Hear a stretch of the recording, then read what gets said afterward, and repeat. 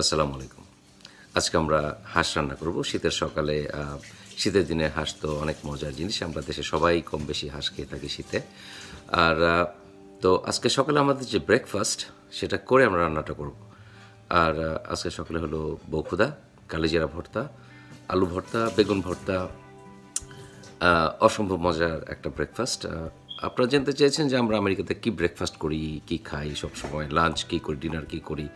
আর breakfast আমরা আসলে দেশে যা করতাম এখানেও মাঝে মধ্যে সেটাই করি। মাঝে মধ্যে আমেরিকান ব্রেকফাস্টও করি। আর আবার যার যার ব্যক্তিগত পছন্দের ব্যাপারও আছে। আমি মাঝে মধ্যে শুধু ডিম ভাজি, ভাত দিয়েও ব্রেকফাস্ট করি। তো আমার সব খাবারের মধ্যে প্রিয় একটা খাবার হলো বকুদা আর কালিজিরা ভর্তা। এখন বকুদা অনেকে হয়তো জানেন না। বকুদা হলো খুদের ভাত। আমাদের গ্রামে এটাকে বলে বকুদা, অনেকে বলে অনেকে বলে বৌয়া।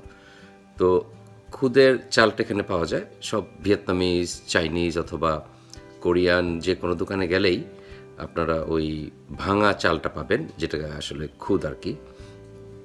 তো অসম্ভব মজার একটা খাবার। আমি খুবই এনজয় করি। আমার বউ আজকে আমাকে ছুটির দিনে সারপ্রাইজ দিয়েছে। এই কালিজিরা ভর্তা বাড়তে বাড়তে তার দুই হাত ফুলে গেছে। But I think it is worth it কালিজিরা ভর্তা, আলু ভর্তা, আর বেগুন ভর্তা, ডাল ভর্তা। এর চাইতে ভালো ব্রেকফাস্ট মনে হয় না আর কোথাও আছে দুনিয়াতে। আমি বিক্রমপুরের, আর আমাদের গ্রামে যে বকুতটা রান্না করে সেটাতে হলুদ দেওয়া হয়।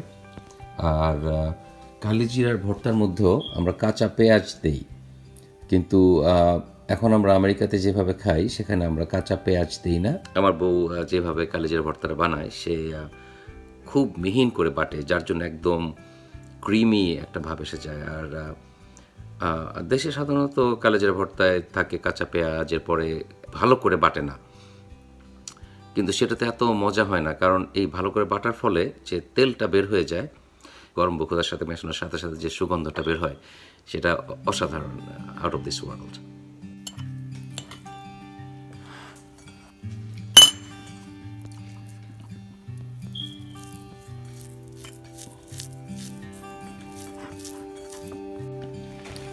যে কি সুন্দর গন্ধ। আনবিলিভেবল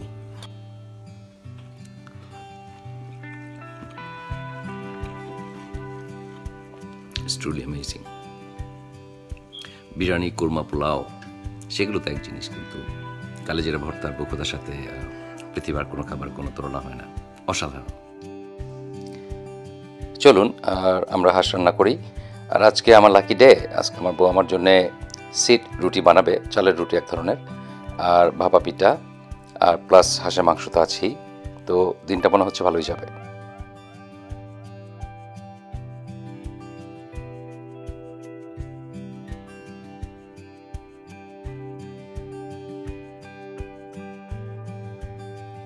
আমাদের লোকাল বাংলাদেশি দোকান থেকে স্পেশাল অর্ডার দিয়ে একটা হাসি নিচ্ছি এটা ওরা পরিষ্কার টরিষ্কার করে আবার আগুনে পুড়েও দিয়েছে যেন আলাদা আলাদা পশম না থাকে।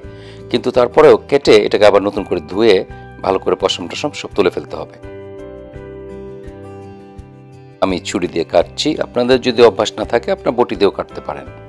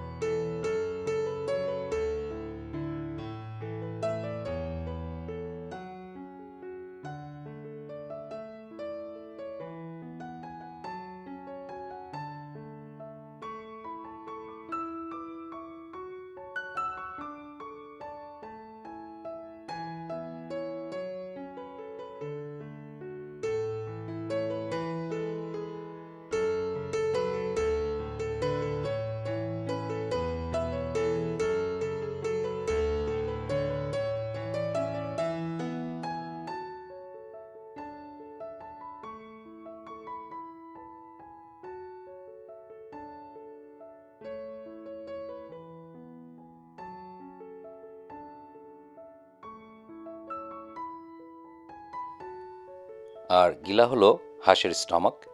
আপনারা সবাই জানেন এটার ভিতরে একটা লাইনিং থাকে, সেটা ফেলে দিতে হয়। আর তারপর আমরা ওই গিলার চারিদিকে একটু কেটে কেটে দেই, যেন রান্নার পরে একটু সুন্দর দেখা যায়।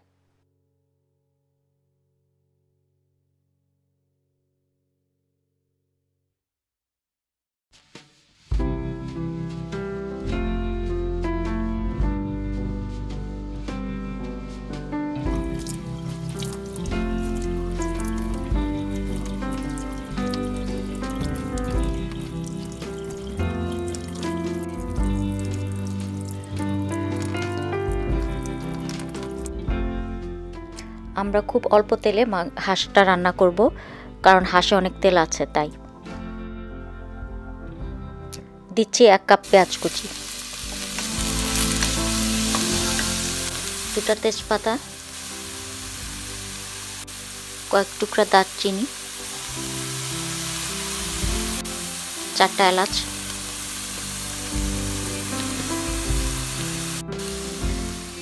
কিছু গোলমরিচ কিছু কাঁচামরিচ স্বাদ মতো লবণ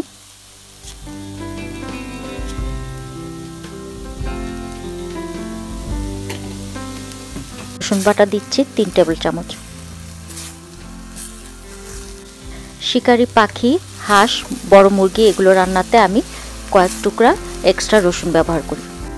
দিচ্ছি চার টুকরা রসুন। হলুদ। তিন চা চামচ। ধনিয়া পাঁচ চামচ।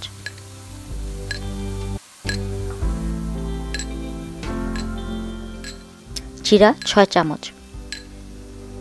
শুকনো মরিচের গুঁড়ো দিচ্ছি দুই চা চামচ, আপনারা আপনাদের ইচ্ছা মতো দেবেন।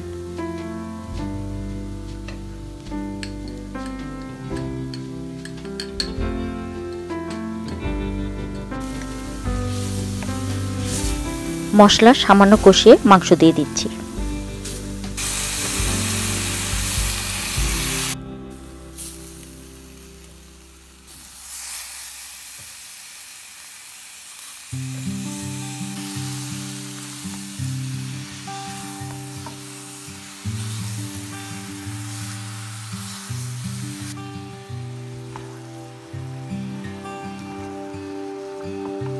মাংস ভালো করে নেড়ে ঢেকে দিব।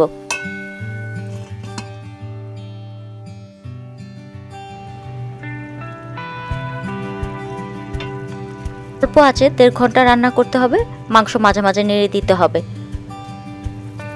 মাংস সিদ্ধ হলে হাঁস নামিয়ে নিতে হবে, কিন্তু হাঁস যদি বয়স্ক হয়, আরও বেশি সময় লাগতে পারে, আর কম সময় লাগবে যদি বাচ্চা হাঁস হয়।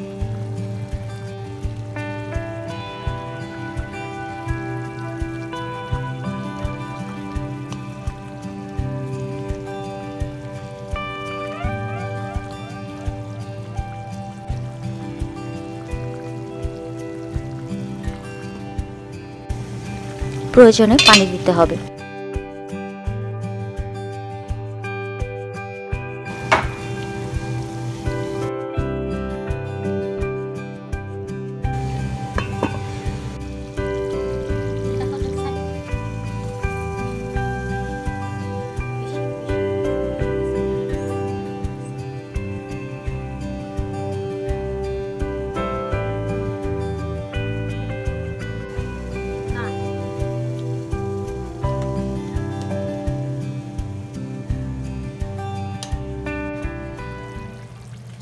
কলিজিও খুব অল্প সময়ে সিদ্ধ হয়ে যায়, এর জন্য ওটা পরে দিচ্ছি।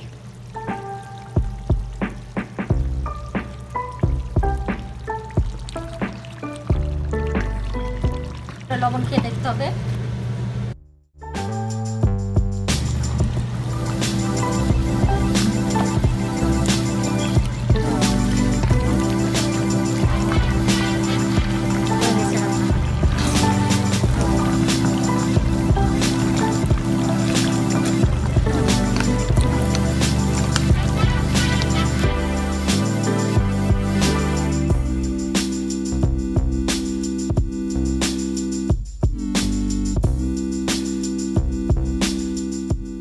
অনেক ধন্যবাদ আমাদের সাথে থাকার জন্যে। আশা করি এনজয় করেছেন। ইনশাল্লাহ দেখা হবে আবার অন্য কোনো একদিন, অন্য কোথাও। আল্লাহ হাফেজ।